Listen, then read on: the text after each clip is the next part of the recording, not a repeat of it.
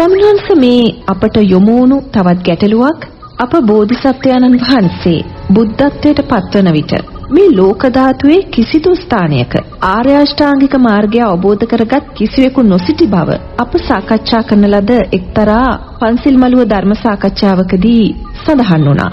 නමුත් බ්‍රහ්ම ලෝකවල අනාගාමී තත්වයටපත් වූ බ්‍රහ්මීන් සිටි බව තොරතුරු තියෙනවා නේද ස්වාමින් වහන්සේ? අම් මෙහෙමයි නෝනා. දැන් බුදුරජාණන් වහන්සේගේ කාලේ එක දෙවි කෙනෙක් ඇවිල්ලා කියනවා භාග්‍යවතුන් වහන්සේ මං සිකී බුදුරජාණන් වහන්සේගේ කාලේ දෙවි කෙනෙකුනේ කියලා. නමුත් ඒ වෙලාවේ ඒ දෙවියා සෝවාන් ඵලයටපත් වෙච්ච දෙවි කෙනෙක්.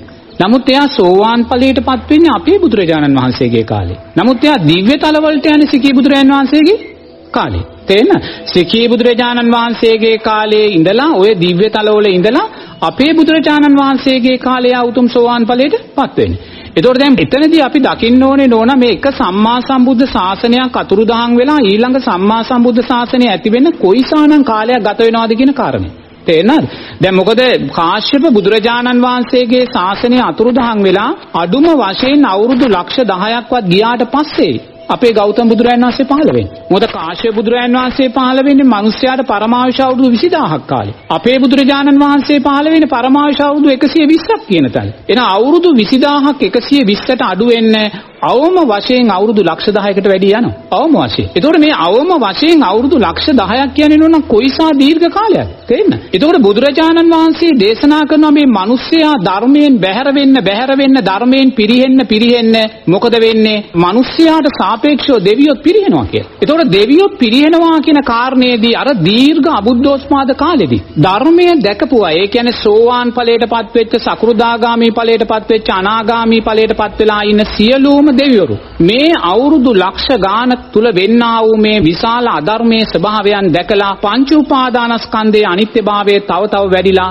ඒගොල්ලෝ නිවන් අවබෝධ කරගන්න. මෙතන තියෙන මහා කටුක පරිසරයක්. අවුරුදු ලක්ෂ 10ක් ධර්මයක් නැති ලෝකයක්. සංඝයා නැති ලෝකයක්. බුද්ධ කියන වචනේ අහන්න නැති ලෝකයක්. ඒ ලෝකයේ තුල අර අවුරුදු ලක්ෂ 10ක් වගේ දීර්ඝ කාලෙදි මේ මනුස්ස ලෝකයේ වෙන්නා වූ විනාශයන් දැකලා දෙවියෝ දිව්‍ය චක්කු වලින් දිව්‍ය සෝත වලින් වෙන්නා වූ විනාශයන් දැකලා ධර්මයෙන් දුර්වල වෙන දෙවිවරු දිව්‍ය ලෝකේ ඉඳන් කරන්නා වූ අකුසල් දැකලා මේගොල්ලෝ පංච උපාදානස්කන්ධයේ අනිත්‍යභාවය තව තව වැඩිලා ඒගොල්ලෝ නිවන් අවබෝධ කරගන්නවා. ඒක දැන් සෝවාන් සකෘදාගාමි අනාගාමි උත්තමයන් හිටියා. කාශ්‍යප බුදුරජාණන් වහන්සේගේ ශාසනය අතුරුදහන් වුණාට පස්සේ මාර්ගඵලලාභින් දිව්‍ය තලවල ඉන්නවා. බ්‍රහ්මතලවල ඉන්නවා. නමුත් අර දීර්ඝ අවුරුදු ලක්ෂ 10ෙදි වෙන්නා වූ විනාශයන් දැකලා තව දුරටත් ඒගොල්ලෝ පංච උපාදානස්කන්ධයේ අනිත්‍යභාවය වැඩිලා ඒගොල්ලෝ මාර්ගඵල නිවන් අවබෝධ කරගන්නවා. ඒතකොට දැන් ඉන් මෙහා කොටස කවුද? සද්ධානුසාරි ධම්මානුසාරි.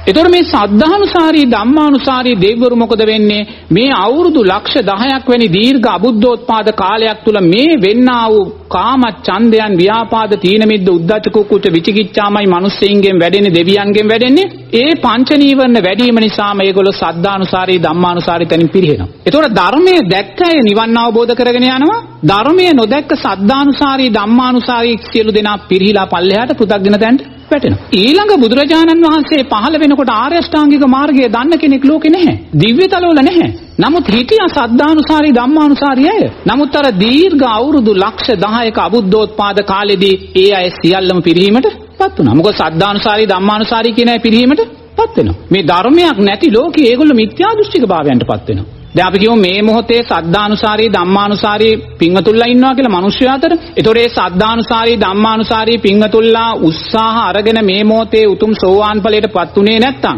නෝනා ඒගොල්ලන් මේ ජීවිතේ සෝවාන් ඵලයටපත් උනේ නැත්තම් ආයිමත් අවස්ථාවක් ලැබෙන්නේ නැහැ. තේන දුර්ලභයි ලැබෙන්න තියෙන අවස්ථාව. ඒතකොට ඒගොල්ලෝ එහෙම දුර්ලභ වුණා කියලා සද්ධානුසාරී ධම්මානුසාරී ස්ථානගත වෙලා ඉන්නේ නැහැ. මොකද මේක පිරිහෙන්න පිරිහෙන්න ඒගොල්ලෝ පිරිහිලා පුතග්ජන තැනට වැටෙනවා. මිත්‍යා දෘෂ්ටික තැනට වැටෙනවා. ඒක රැකිලා තියෙන්නේ නැහැ. මොකද අවුරුදු ලක්ෂ 10ක් දැන් මෛත්‍රී බුදුරජාණන් වහන්සේ පහළ වෙන්නේ තව අවුරුදු ලක්ෂ 25කට වැඩි.